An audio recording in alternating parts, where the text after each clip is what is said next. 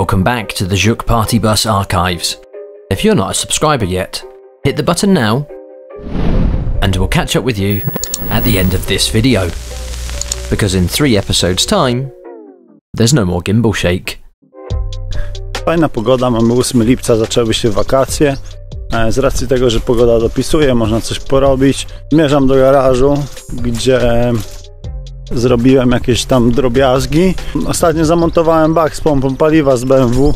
Niestety okazało się, że w komorach zbiornika paliwa jest jakiś syf, którego nie udało mi się wcześniej wypłukać. Pompa zaciągnęła ten syf, no i jest do wymiany. Oczywiście minus jest taki, że musiałem ściągnąć już zbiornik paliwa, żeby to zrobić.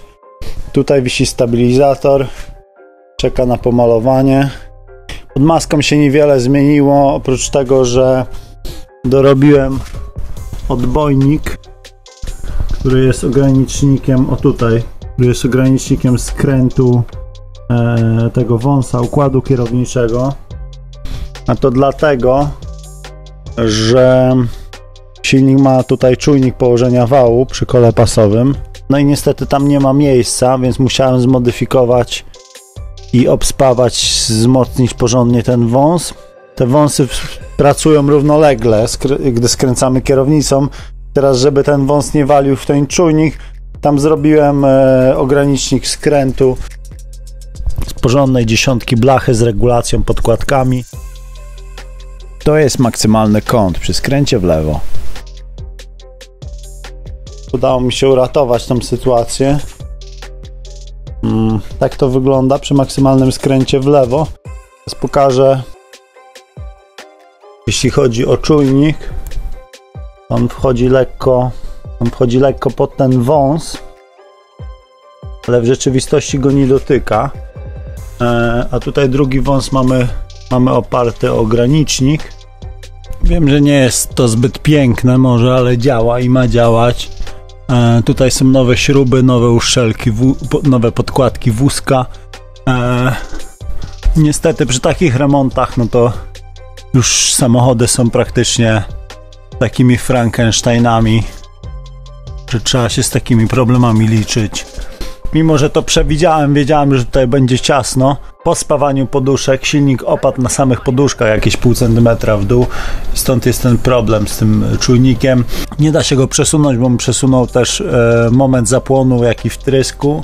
Myślałem, żeby obrócić ten wąs do góry nogami, zamienić się stronami, ale z kolei tutaj by przeszkadzał stabilizator. No i skończyło się tak, ale tutaj fajnie wszystko jest, jeśli chodzi o miskę olejową, to jest sporo miejsca, nic nie haczy. Em, także z tego jestem zadowolony. A jeszcze oczywiście pewnie kilka problemów przede mną, więc nie będziemy się przejmować pierdołami. Z nowości to dostałem paczkę z silikonowymi wężami do dolotu i do chłodnicy.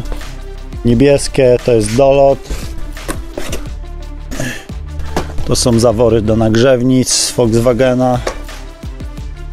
Dość spoko, sterowane linką. Nie były drogie. To jest korpus do czujnika e, temperatury chłodnicy, który będzie sterował wiatrakami. Jak jakiś tam pseudo-rajdowy chiński klimat. Tu silikony, które potrzebuję. E, kolana redukcyjne, kolana normalne 180. To będzie połączone aluminiowymi rurkami. E, Nie pytajcie, ile to kosztowało, bo dużo, ale no trudno. Przy takiej rzeźbie ma być dobrze, ma być, ma być nowe. Jakbym miał coś kombinować z jakichś używek ze szrotu, to i tak nie mam się czego trzymać. Dobra, tutaj zbiornik się suszy po kolejnym płukaniu z kamykami i tak dalej. Okazało się, że to się ocynk łuszczy w tym zbiorniku. Nie wiem, czy nawet gdzieś to mam. Pokażę wam, co tam w nim było. Mniej więcej, jeżeli osmo to złapie.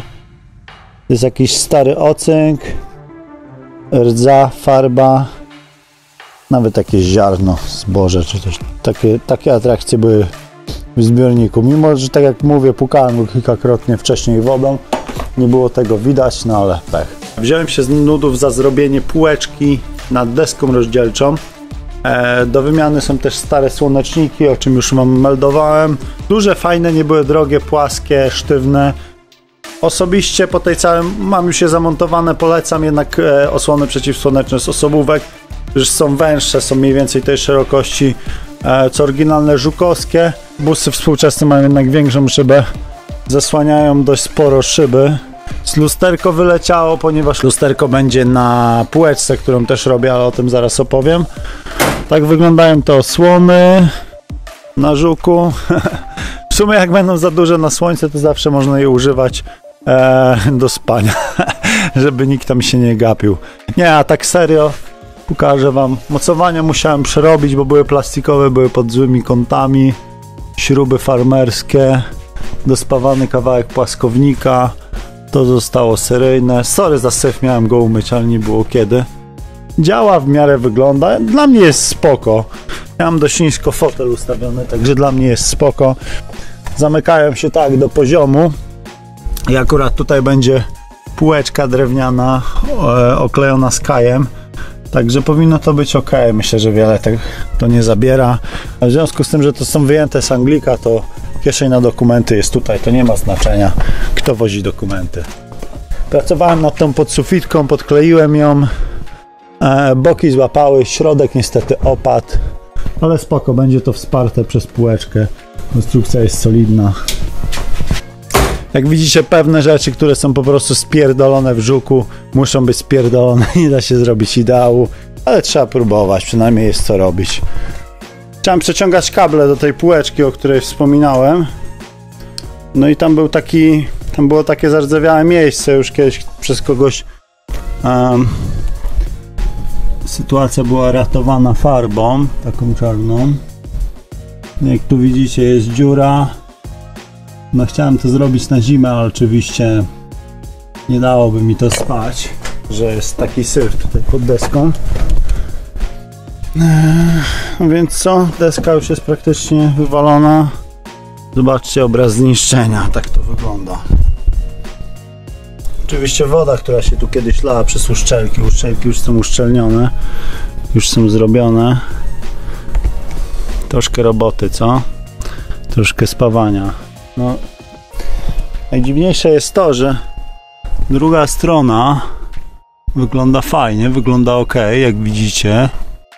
Cała deska wygląda dobrze, prawda? Te skrzyneczki bezpieczników też są do wymiany niedługo. Na cywilizowane, które tutaj czekają.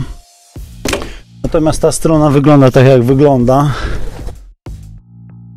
Więc e, o, tutaj pęknięte. Trzeba to będzie za chwilę zrobić dobrze.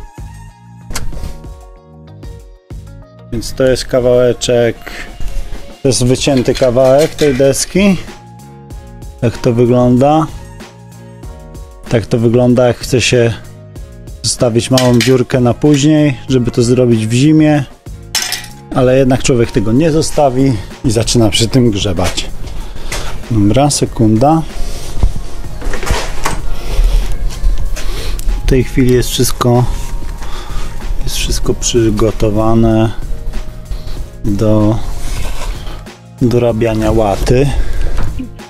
Jest może to najpiękniej wyczyszczone, ale jest to zrobione tak dobrze, jak tylko mogę zrobić bez wyjmowania szyby i niestety bez wyciągania ściągania błotnika, czego bym chciał bardzo uniknąć. Myślę, że na kilka lat wystarczy taka naprawa. Na pewno będzie o niebo lepiej i sztywniej, tym bardziej, że to element właściwie, który tylko trzyma deskę rozdzielczą. Ok, więc dziura w desce jest dogięta, pospawana, przemalowana farbą.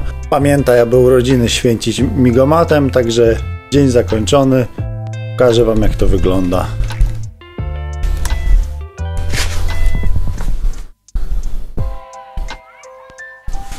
z dołu. Oczywiście to pierwsza warstwa, będzie trzeba jeszcze to przemalować.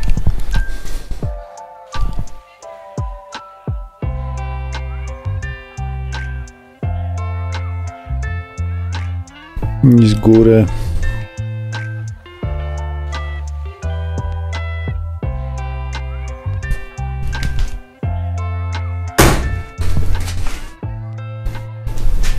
Dobra, czas stąd uciekać, bo śmierdzi i trzeba zamówić więcej farby, bo się skończyła.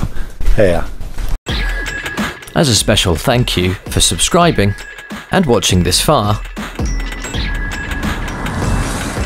here's a clip of Carol's Juk from a future episode.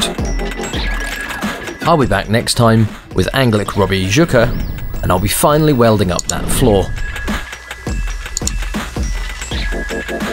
So if you have, thanks for subscribing, and we'll see you next time.